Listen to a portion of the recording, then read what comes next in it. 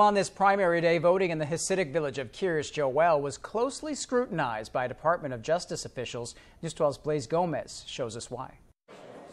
It's not private voting. It doesn't seem very private when you can see over the shoulder of voters at the polls in Kiryas Joel. People are sharing the flyers that go back and forth with the who the government is telling them to vote for. On Tuesday, Concerned Citizens Group United Monroe leader Emily Convers took issue with these sample ballot cards we found left behind at the polls in the Hasidic village, suggesting voters cast their primary election ballots for Karl Brabenec for Assembly and Andrew Cuomo for governor. Our office is working very hard to make sure that everybody is represented equally.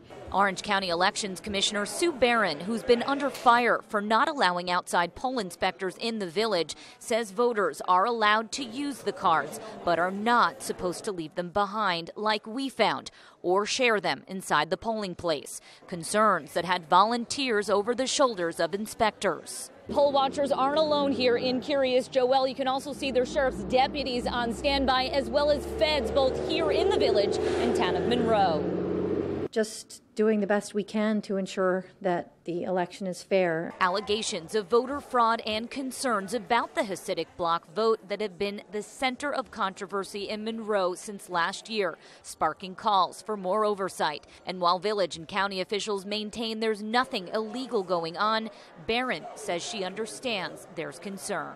I recognize that there are people that are that are looking for some changes, and um, you know I'm willing to sit down at, at the table and review what we what we do here at the at the board. In Kiryas Joel Blaise Gomez, News 12.